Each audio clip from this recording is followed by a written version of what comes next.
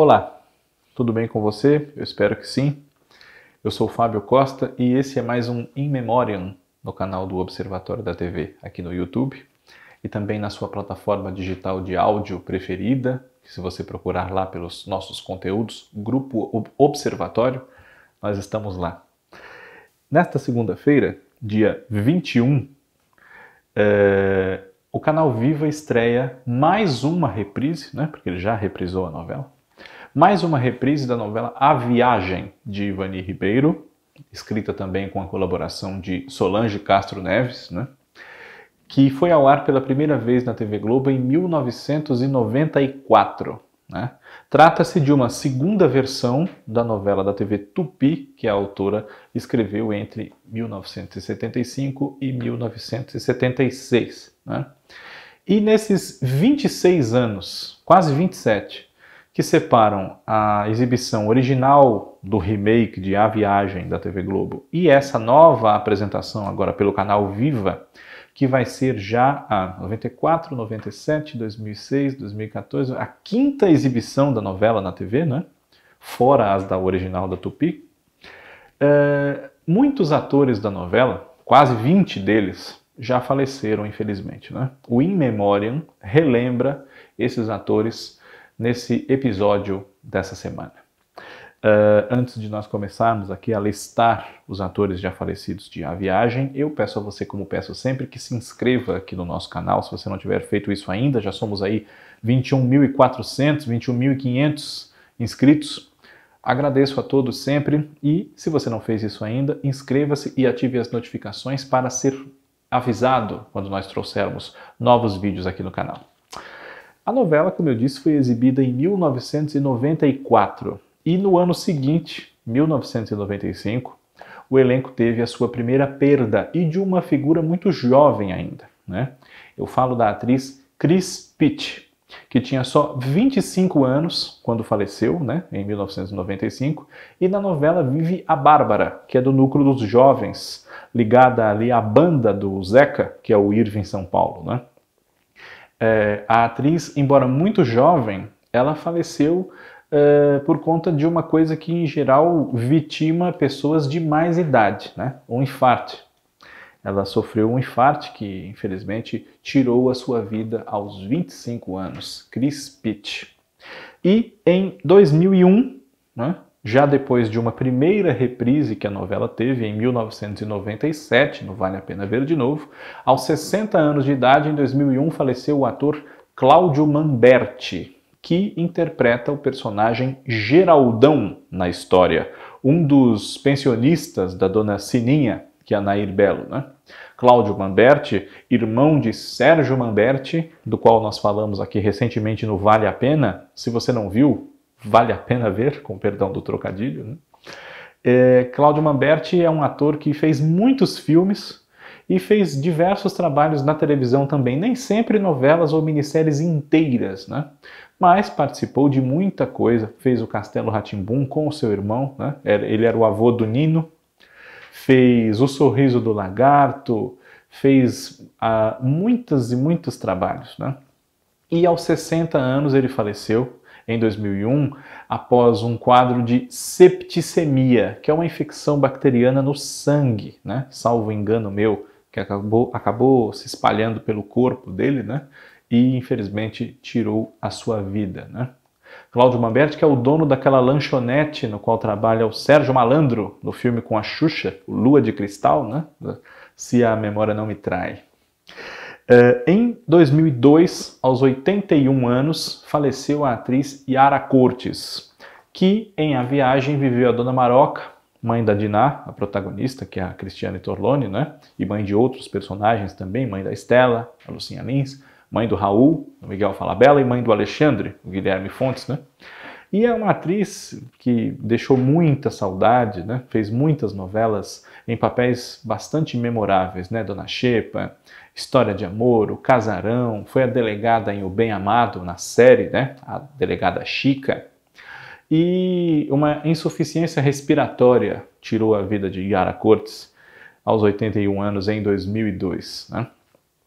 Uh, aos 41 anos, em 2006, depois de um quadro de pancreatite.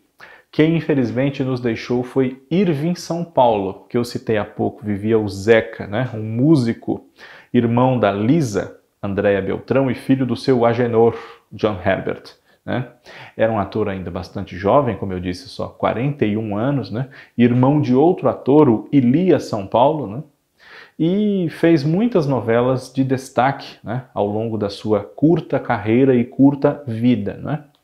É, Final Feliz, Champagne, é, Torre de Babel, né? Mulheres de Areia, o remake né? em 1993 é, uma ausência também sentida. Né? Na época do falecimento do Irving, inclusive, a novela estava em mais uma reprise no Vale a Pena Ver de Novo, ou havia acabado de terminar essa reprise. Né?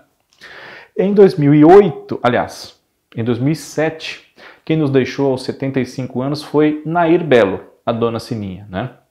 Ela ficou internada bastante tempo no hospital, teve um quadro de pneumonia que se agravou e depois, por falência múltipla dos órgãos, infelizmente perdeu a vida. Né? Nair Belo, que marcou presença em programas de humor, como Zorra Total, Escolinha do Golias, O Bronco também na Band, não é? E em outras novelas, como Perigosas Peruas, Olhai os Lírios do Campo, João Brasileiro, Uga Uga, Kubanacan, enfim, né? Uma saudade muito grande também nessa lista do In Memoriam de hoje. Agora sim, em 2008, né? Nós tivemos duas perdas do elenco de A Viagem, duas mulheres, né? duas atrizes. Aos 61 anos, depois de insuficiência respiratória e de problemas com câncer de fígado, faleceu Tânia Scher, que na novela viveu a dona Josefa, mãe de Tel, o Maurício Matar. Né? Tânia Scher, que na ocasião eh, já tinha mais de 30 anos de carreira, não é? quase 40 inclusive, embora só tivesse 61 anos quando faleceu. Não é? Tânia participou de novelas como A Próxima Atração, O Homem que Deve Morrer, é, Guerra dos Sexos, fez a minissérie Anos Dourados, é a mãe do Urubu, Tomaturgo Ferreira, né? enfim. Tânia Scher, uh, um dos seus últimos trabalhos, além de A Viagem, foi a novela A Próxima Vítima, uma participação com a mãe de Diego, personagem do Marcos Frota. E a outra perda feminina, aos 60 anos, em 2008, foi a da atriz Maria Alves, que vive a Francisca na novela. Né? Maria Alves eh, foi vítima de câncer e teve um papel de grande destaque numa novela fora da TV Globo, embora tenha feito muitas lá, né? Felicidade, Baila Comigo, entre tantas outras. Uh, a própria A Viagem, claro, né? Mas eu me lembro, sempre que eu falo em Maria Alves, eu me lembro de uma personagem chamada Iracema, que ela fazia na novela Louca Paixão da Record, um amor do passado do seu Miguel, que era o Gracindo Júnior, que inclusive era pai da sua filha, uma moça muito bonita, a Amanda Viviane Porto. Né? Iracema havia ido presa havia sido condenada à prisão e estava presa na novela porque havia matado um marido violento que a maltratava, né? e que supostamente era o pai da Amanda, até ser revelado que na verdade ela era filha do Miguel. Né? Maria Alves, uma grande atriz, também deixou saudade. Em 2009, tivemos a perda aos 57 anos de idade, uh, devido a um câncer no pulmão, né? da atriz Mara Manzan, que interpreta na novela A Viagem uma das pensionistas também da Dona Sininha, a Edneia. Né? Maramanzan, quando faleceu, havia acabado de participar de duas novelas que ela precisou se ausentar no decorrer desses trabalhos, justamente por causa dos seus problemas de saúde. Né? Duas Caras, entre 2007 e 2008, e Caminho das Índias, nesse mesmo ano de 2009. Né? ela precisou se ausentar e em Duas Caras foi substituída temporariamente pela Fafi Siqueira, uma personagem equivalente, né, que fazia suas vezes, e em Caminho das Índias pela Thaís Garaípe, né, salvo engano da minha parte. Mara Manzan também é uma ausência sentida, né, participou de outras novelas como Salsa e Merengue, O Clone e a segunda versão de Pecado Capital. Né. Em O Clone ficou eternizada com seu bordão Cada mergulho é um flash, né, no papel de Odette. Em 2011, duas perdas agora femininas. Ah, aliás, masculinas. Femininas foram as anteriores. Né?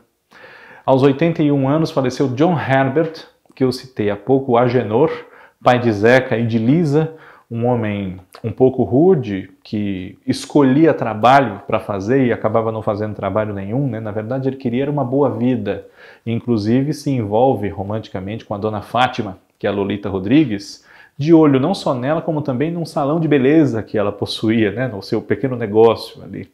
O seu Agenor é um dos muitos personagens da carreira desse ator que participou de diversas produções em cinema, também como diretor, inclusive e na televisão, né? Foi, foi astro do pioneiro Alô Doçura com Eva Vilma, sua esposa por mais de 20 anos, né? E fez muitas novelas, O Profeta, Gaivotas, Aritana, uh, Água Viva, Plumas e Paetês, Que Rei Sou Eu, enfim, né? John Herbert, aos 81 anos, faleceu em 2011 e nesse mesmo ano, aos 75 anos, a, a Uh, John Herbert faleceu por conta de enfisema pulmonar. E aos 75 anos, nesse mesmo ano de 2011, por conta de um AVC, depois de cerca de um mês internado, quem morreu foi Nildo Parente, que, ao contrário desses outros atores todos que fazem a novela toda, ou quase, eu quis citar aqui nesse In Memoriam porque o personagem do Nildo Parente aparece muito pouco em A Viagem, né? só no primeiro capítulo. É o Valdomiro, o, o contador que flagra Alexandre roubando o cofre da empresa e o Alexandre se desespera, acaba matando o homem, né? É...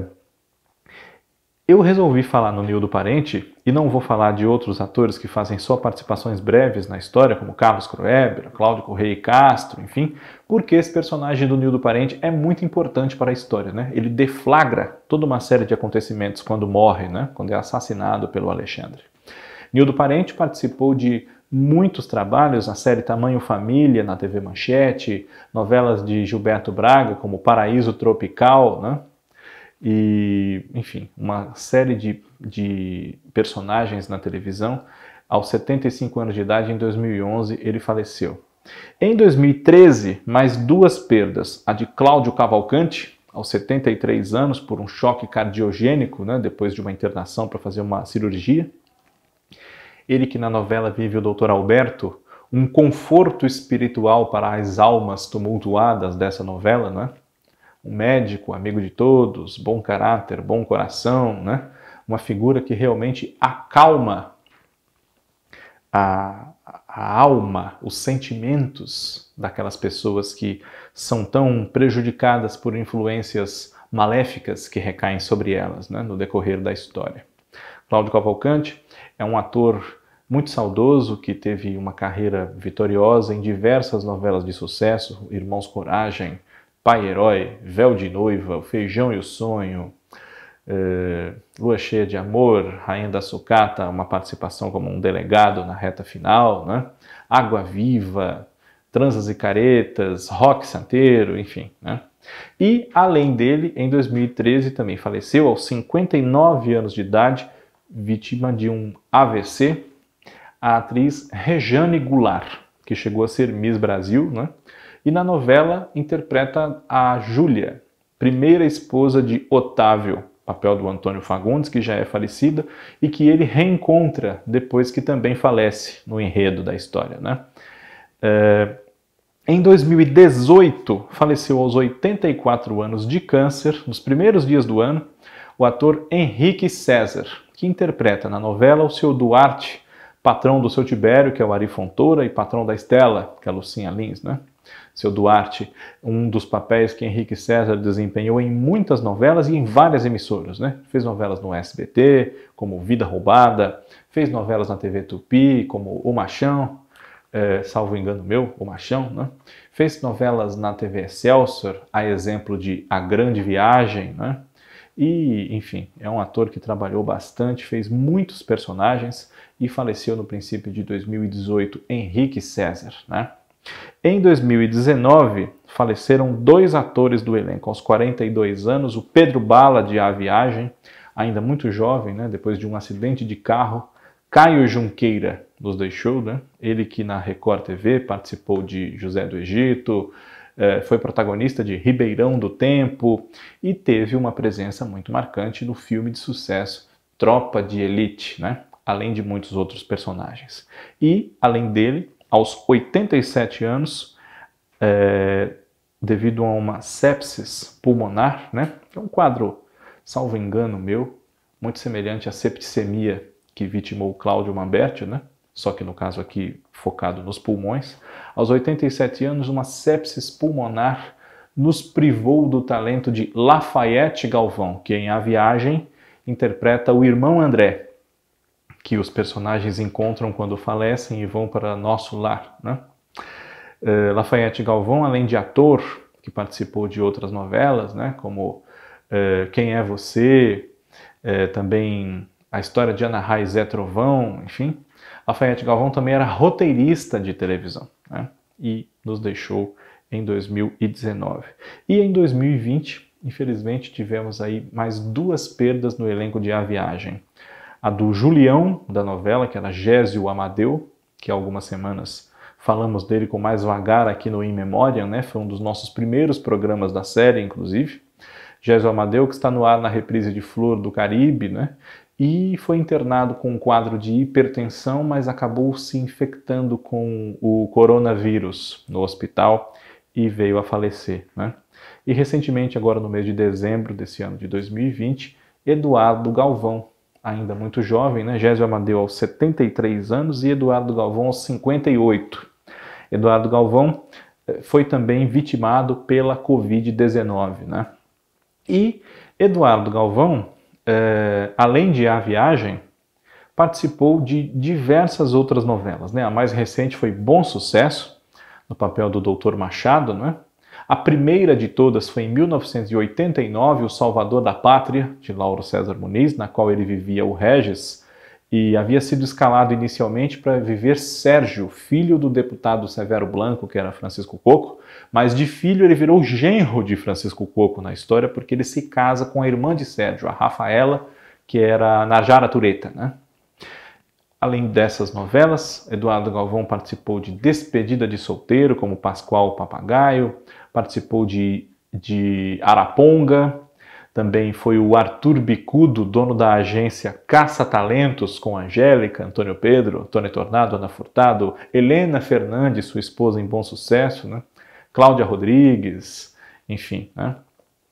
Além de muitos outros trabalhos, né? Insensato Coração, também é, na, novela, na novela da Band, foi o grande vilão, o Lúcio, né, em Dance, Dance, Dance, né? Uma carreira que sempre nos transpareceu através dos personagens que ele fosse o que todo mundo disse que ele era agora quando infelizmente faleceu. Um, uma pessoa do bem e de bem, né? uma pessoa legal, sorridente, simpática, amiga de todos, né? E que a perda dessas pessoas que transmitem coisas boas para nós assim pela televisão é sempre ainda mais sentida, não é? Porque você se priva não só do talento de interpretação daquele artista, mas também da figura humana que ele representa para nós, embora não os conheçamos pessoalmente, né? E também dos seus amigos, das pessoas que contracenaram com ele, o que dizem quando essa pessoa infelizmente falece, como no caso agora recente de Eduardo Galvão, que é mais um dos atores de A Viagem que nós infelizmente já perdemos desde 1994, quando a novela foi lançada. O In Memoriam desta semana deseja a você que curta pela primeira ou segunda, terceira vez, enfim, a novela A Viagem, que está de volta no canal Viva, para rever esses talentos todos e que na próxima semana nós estejamos juntos novamente. Muito obrigado, um abraço e até mais.